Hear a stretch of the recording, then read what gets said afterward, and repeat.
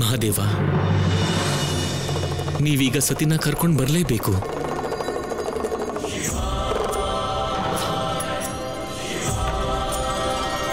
ನಂಗೊತ್ತು ಮಹಾದೇವ, ಧ್ಯಾನದಲ್ಲೂ ನೀವು ಸತಿ ನೋವನ್ನು ಅನುಭವಿಸ್ತಾ ಇರ್ತೀರಿ. ಅವರನ್ನ ನೀವು ನೋವಲ್ಲಿ ಕಳೆದು ಹೋಗೋಕೆ ಬಿಡೋದಿಲ್ಲ.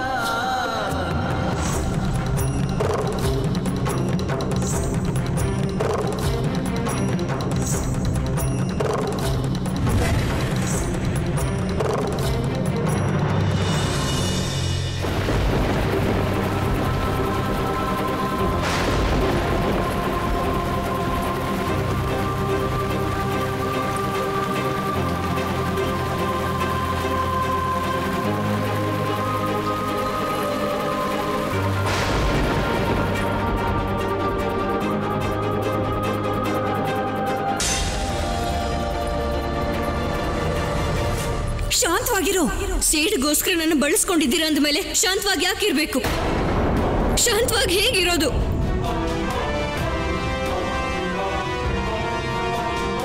ನೀನ್ ಹೇಳ್ತಾ ಇದ್ಯಾ ಮಗಳೇ? ನಾನ್ ಸತ್ಯ ಹೇಳ್ತಿದ್ದೀನಿ ಅಮ್ಮ. ಸತಿ! ನಾನು ನನ್ನ ಅಸ್ತಿತ್ವವನ್ನ, ನನ್ನ ಹುಟ್ಟಿನ ಕಾರಣನ ತಿಳ್ಕೊಂಡಿದ್ದೀನಿ. ಏನ್ ಹೇಳ್ತಿದ್ಯಾ ನೀನು ಸತಿ? ಹೌದು ಅಕ್ಕ. ಶಿವನ ಆದಿಶಕ್ತಿಯನ್ನ ಪಿತಾಶ್ರೀ ತನ್ನ ಸೇಡ್ ತೀರ್ಸ್ಕೊಳ್ಳೋದಕ್ಕೆ ಅಂತ ಬಳಸ್ಕೊತಾ ಇದ್ದಾರೆ.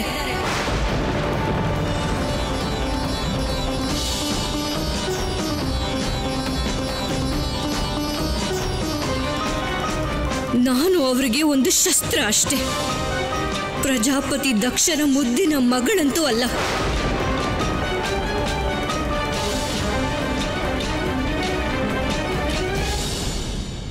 ನೀನು ಏನ್ ಮಾತಾಡ್ತಿದ್ಯಾ ಅಂತ ನಿನ್ಗೆ ಗೊತ್ತಿಲ್ಲ ಅನ್ಸುತ್ತೆ. ನನಗೆಲ್ಲ ಗೊತ್ತಿದೆ ಅಕ್ಕ.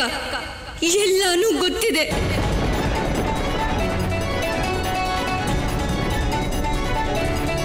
ಅಮ್ಮ, ಪಿತಾಶ್ರೀಗೆ ಸರ್ವಶಕ್ತಿವಂತ ಶಿವನ ವಿರುದ್ಧ ತಾತ ಬ್ರಹ್ಮನ ತಲೆ ಕತ್ತರಿಸಿದ್ದಕ್ಕೆ ಸೇಡ್ ತೀರ್ಸ್ಕೋಬೇಕಾಗಿತ್ತು. ಆ ಸೇಡನ್ನ ತೀರಿಸ್ಕೊಂಡು ಅವರು ಪಿತೃಋಣ ತೀರಿಸ್ಬೇಕಾಗಿತ್ತು. ಅದಕ್ಕೋಸ್ಕರ ಅವರು ನನಗೆ ಸತ್ಯ ಹೇಳಿಲ್ಲ. ಆದ್ರೆ ನೀವು? ನೀವು ನನ್ನ ಅಮ್ಮ ಅಲ್ವಾ? ನನ್ನ ಜನನಿ ಅಲ್ವಾ? ನನ್ನ ಜನನಿ ಆಗಿದ್ರು ಕೂಡ ಜಗಜ್ಜನನಿ, ಆದಿಶಕ್ತಿ, ಸತ್ಯನ ನನ್ನಿಂದ ಯಾಕೆ ಮುಚ್ಚಿಟ್ರಿ ಅಮ್ಮ? ಈ ಸತ್ಯನ ನನ್ನಿಂದ ಮುಚ್ಚಿಡುವಂತ ಅವಶ್ಯಕತೆ ಏನಿತ್ತು ನಿಮ್ಗೆ?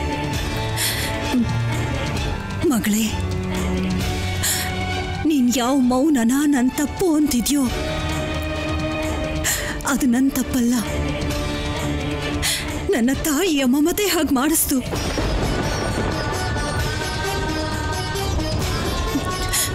ನಿನ್ನ ದುಃಖ ಜಾಸ್ತಿ ಆಗೋದು ನನಗಿಷ್ಟ ಇರಲಿಲ್ಲ. ಅದಕ್ಕೆ ಹಾಗೆ ಮಾಡಿದೆ. ನನಗೆ ಗೊತ್ತಿತ್ತು. ನಿನಗೆ ಸತ್ಯ ಗೊತ್ತಾದ ಮೇಲೆ ನೀನು ಹಠ ಮಾಡ್ತೀಯ? ಆ ಶಿವನನ್ನೇ ಮದುವೆ ಆಗ್ತೀನಿ ಅಂತ. ಆದ್ರೆ ನಿನ್ನ ಅಹಂಕಾರಿ ತಂದೆ.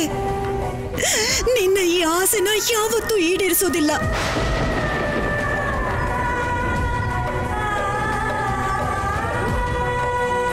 ಶಿವನನ್ನ ನೀನು ಮದುವೆ ಆಗೋದನ್ನ ಅವ್ರು ಯಾವತ್ತೂ ಒಪ್ಕೋತಿರ್ಲಿಲ್ಲ. ಮಗಳೇ, ನನ್ನ ಕ್ಷಮಿಸ್ಬಿಡಮ್ಮ. ನನ್ನ ಕ್ಷಮಿಸ್ಬಿಡು.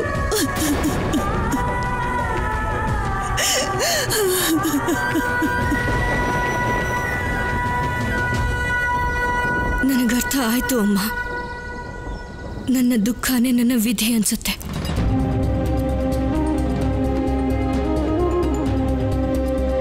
ಇಲ್ಲ ಮಗಳೇ. ನಿನ್ನ ವಿಧಿನ ಬದಲಾಯಿಸೋದಕ್ಕೆ ಉಪಾಯ ಇದೆ ನನ್ನ ಹತ್ರ. ಯಾರಿಗೂ ಏನು ಹೇಳ್ದೆ? ಹೊರಟೋಗು ಇಲ್ಲಿಂದ. ನಿನ್ನ ಶಿವನ ಹತ್ರ. ಕೈಲಾಸಕ್ಕೆ. ನಾನ್ ನಿನ್ಗೆ ಅನುಮತಿ ಕೊಡ್ತೇನೆ. ಹೋಗು ಮಗಳೇ. ಹೋಗು ಇಲ್ಲಿಂದ. ಹೋಗು.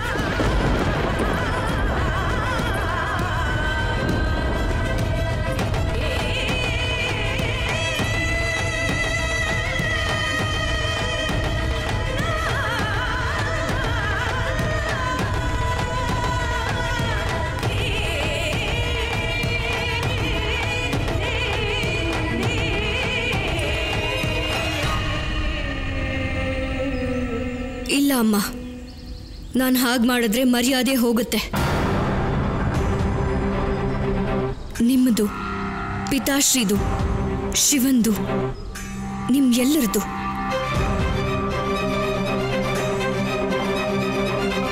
ಈ ಆದಿಶಕ್ತಿ ಶಿವನಿಗೆ ಸೇರ್ದವಳೆ ಆಗಿದ್ರೆ, ಶಿವನೇ ಸ್ವಯಂ ನನಗೋಸ್ಕರ ಇಲ್ಲಿಗೆ ಬರಲಿ ಇಲ್ಲಿಗೆ ಬರಲಿ.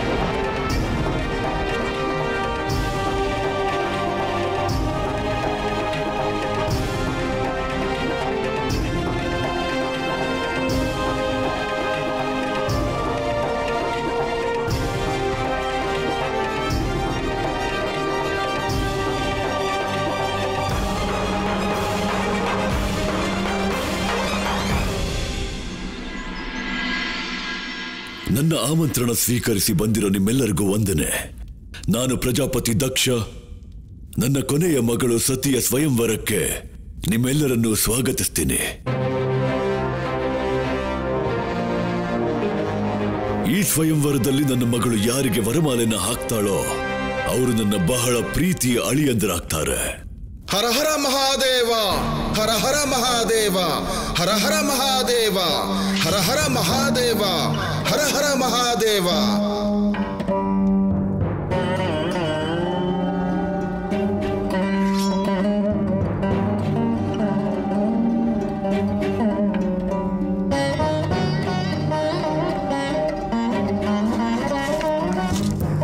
ಇಲ್ಲಿಗೆ ಬರೋದಕ್ಕೆ ಏನಾದರೂ ವಿಶೇಷ ಕಾರಣ? ಮಹರ್ಷಿ ದದಿಚಿ ನೀವು ಪ್ರಜಾಪತಿ. ಬಹಳ ದೊಡ್ಡ ಜ್ಞಾನಿ. ನಾನು ನಿಮ್ಮ ಹತ್ರ ಮನವಿ ಮಾಡ್ಕೊಳಕ್ ಬಂದಿದ್ದೀನಿ. ನೀವು ಯಾವ ಅನರ್ಥ ಮಾಡ್ತಾ ಇದ್ದೀರೋ ಅದನ್ನ ನಿಲ್ಲಿಸಿ ಈ ಮನವಿನ ನನ್ನ ಪಿತಾಶ್ರೀ ಬ್ರಹ್ಮನು ಮಾಡಿದ್ರು. ಆದರೆ ಇದು ನನ್ನ ಮಗಳು ಸತಿಯ ಜೀವನದ ಪ್ರಶ್ನೆ. ಮತ್ತು ಅವಳ ವರನನ್ನ ಆಯ್ಕೆ ಮಾಡೋದು ನನ್ನ ಅಧಿಕಾರವಾಗಿರುತ್ತೆ. ಪ್ರಜಾಪತಿ ದಕ್ಷ ಶಿವ ಮತ್ತೆ ಸತಿನ ದೂರ ಮಾಡೋ ಪ್ರಯತ್ನ ಸತ್ಯಕ್ಕೆ ಅನುಚಿತವಾದದ್ದು. ಈ ಸ್ವಯಂವರ ನಿಲ್ಲಿಸ್ಬಿಡಿ ಹಾಗೆ ದಯವಿಟ್ಟು ನಮ್ಮ ಮಹಾದೇವ ಮತ್ತೆ ಆದಿಶಕ್ತಿ ಮದುವೆ ಮಾಡಿ. ಇದೇ ಎಲ್ರಿಗೂ ಒಳ್ಳೇದು ಪ್ರಜಾಪತಿ. ಖಂಡಿತ ಇಲ್ಲ. ನಾನು ನನ್ನ ಮುದ್ದಿನ ಮಗಳ ವಿವಾಹವನ್ನ ಆ ಅಘೋರಿ ಜೊತೆಗೆ ಮಾಡೋಕೆ ಸಾಧ್ಯ ಇಲ್ಲ. ಯಾರ ಹತ್ರ ಇರೋದಕ್ಕೆ ಮನೆ ಇಲ್ವೋ? ಊಟಕ್ಕೆ ಅನ್ನ ಇಲ್ವೋ? ಒಂದು ಪಾತ್ರೆ ಕೂಡ ಇಲ್ಲ ಅವನ ಹತ್ರ. ಚಿಪ್ಪಲ್ಲಿ ಊಟ ಮಾಡ್ತಾನೆ.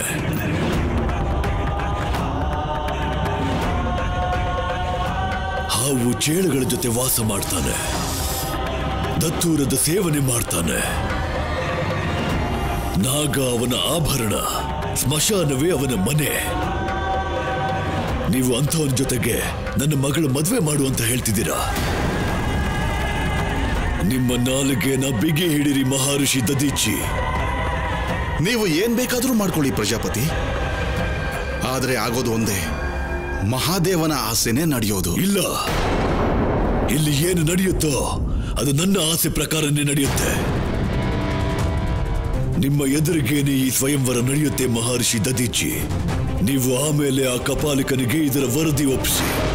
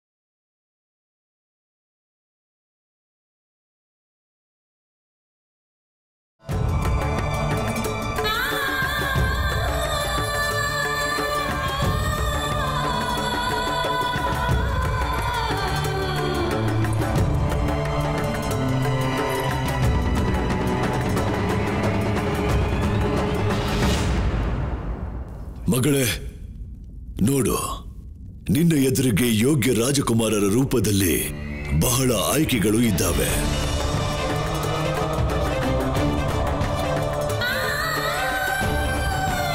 ಯಾವುದೇ ಸಂಕೋಚ, ಒತ್ತಡ ಇಲ್ಲದೆ ಆರಿಸ್ಕೋ. ಇದು ಸ್ವಯಂವರ. ಇಲ್ಲಿ ನೀನು ಸ್ವಯಂವರನ ಆಯ್ಕೆ ಮಾಡಬೇಕು.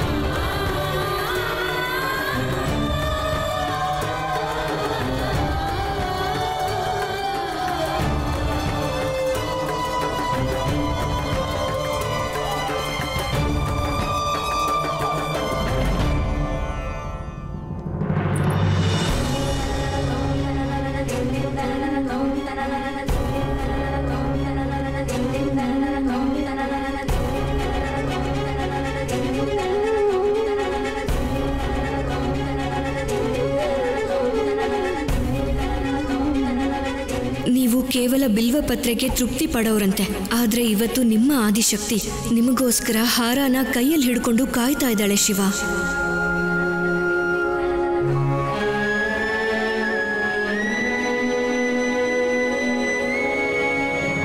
ಈ ಸ್ವಯಂವರದ ಹಾರ ನಿಮಗೋಸ್ಕರನೇ ಇರೋದು.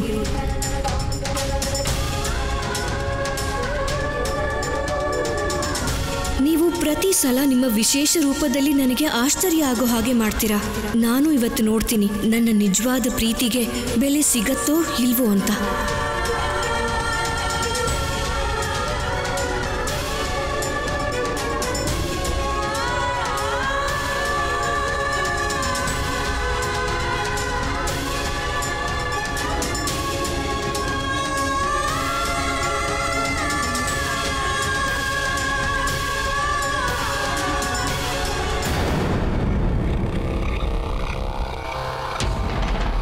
ಇದೇನು ಮೂರ್ಖತನ ಸತಿ?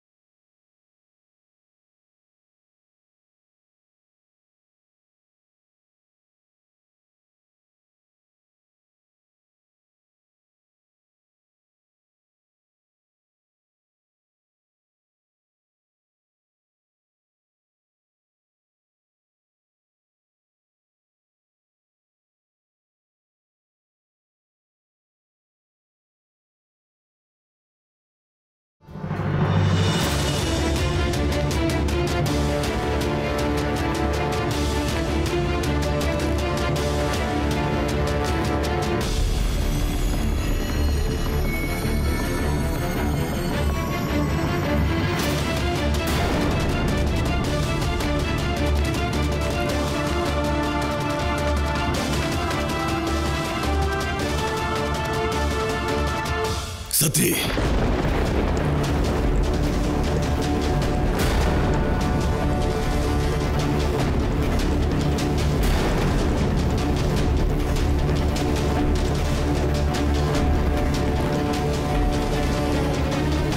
ಇವನ ಕಡೆ ಗಮನ ಕೊಡಬೇಡ.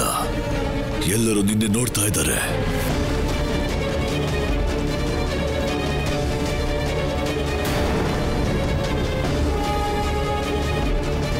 ಹೇಳು ಎಲ್ಲರಿಗೂ ಮತ್ತು ಈ ಕಪಾಲಿಕನಿಗೂ ಇವನು ನಿನ್ನ ಸ್ವಯಂವರನ ವಿನಾಕಾರಣ ಮಧ್ಯದಲ್ಲಿ ತಡೆಯೋಕೆ ಬಂದಿದ್ದಾನೆ ಅಂತ.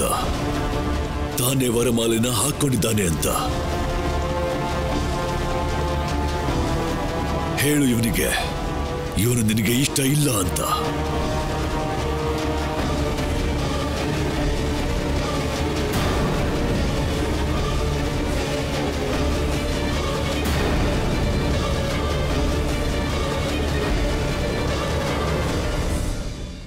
ಇನ್ನೊಂದು ವರಮಾಲೆ ತಗೊಂಡು ಸ್ವಯಂವರದ ಪ್ರಕ್ರಿಯೆನ ಪೂರ್ತಿ ಮಾಡು.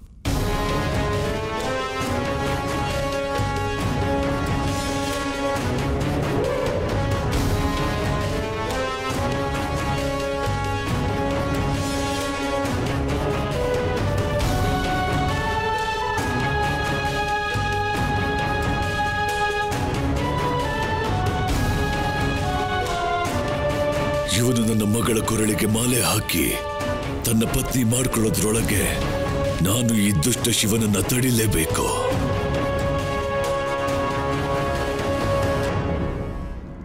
ನಿಲ್ಲು.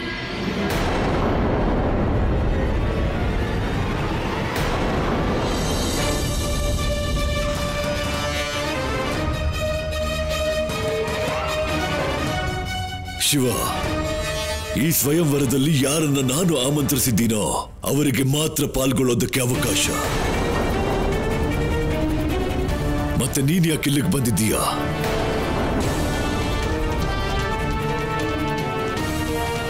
ಇಷ್ಟು ಗೊತ್ತಾಗಲ್ವಾ? ಆಮಂತ್ರಣ ಇಲ್ಲದೆ ಎಲ್ಲಿಗಾದ್ರೂ ಹೋದ್ರೆ ಅವಮಾನ ಆಗತ್ತೆ ಅಂತ.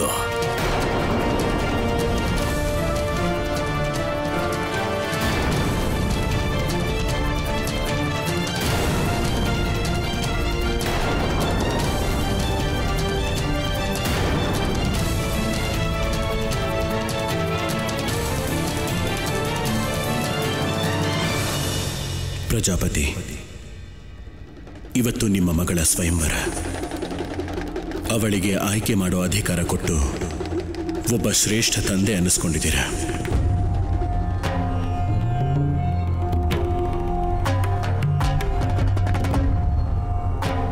ಆದರೆ ನಾನಿಲ್ಲಿಗೆ ಬರೋದಕ್ಕೆ ಆಮಂತ್ರಣ ಕೊಟ್ಟಿದ್ದು ನಿಮ್ಮ ಮಗಳು. Cortando.